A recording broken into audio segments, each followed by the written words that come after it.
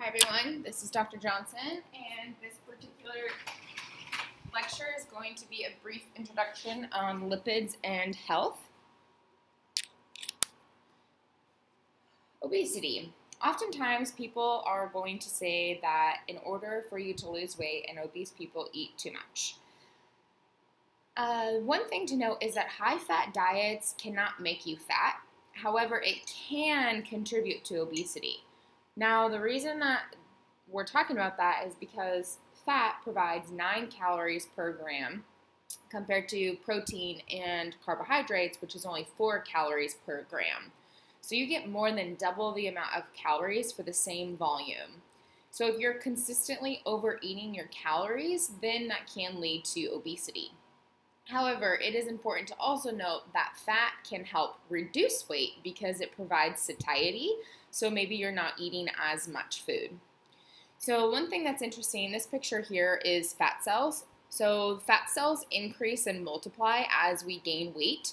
And then once we lose weight, we still have the same number of fat cells, they just get smaller. So the cell fights to stay large, which is why people who are chronic yo-yo dieters have a hard time with maintaining the weight loss.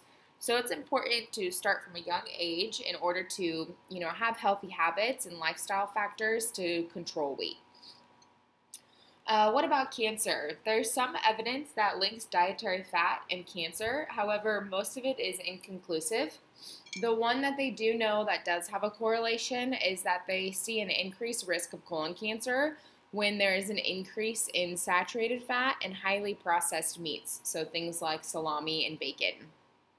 Now, it's important to note that you were consuming quite a large amount in order for that increase, and there haven't been any studies that have isolated and looked at, well, fiber reduces colon cancer. So if the person is consuming a higher fat content but also higher fiber, would they still get colon cancer? So that is not a cause and effect, it's just a correlation. And so there are limitations, of course, to that.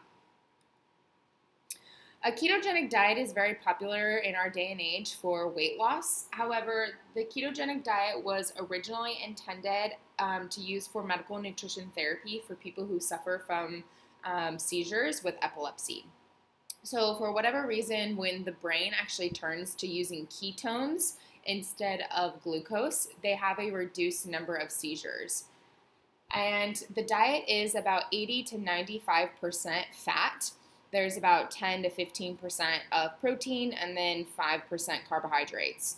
So it is important to note that the people who are going under a ketogenic diet for MNT or medical nutrition therapy are being monitored to ensure that they're not getting any type of nutritional deficiencies.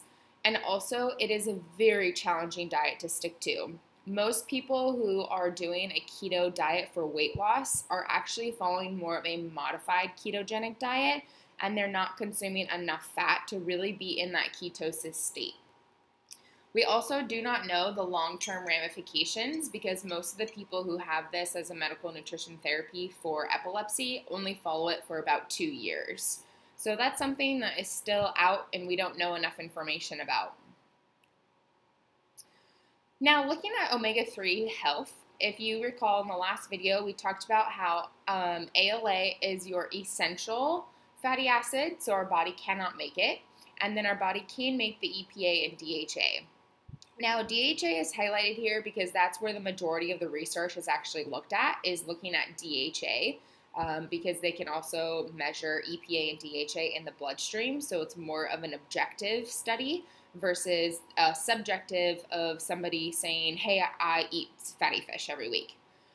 So, the documented health benefits behind consuming omega 3s is that it shows to decrease vascular disease, it reduces inflammation, it decreases type 2 diabetes, it improves brain development, and it's shown to decrease dementia and Alzheimer's. So these are all really positive, beneficial factors, and this is why, too, um, DHA is actually fortified in baby formulas to make sure that that child has really good brain development. So it is important to have two servings of fatty fish per week or take some type of supplement. So this is again a really brief introduction. So in conclusion, we want to shift our focus onto consuming mostly unsaturated fats.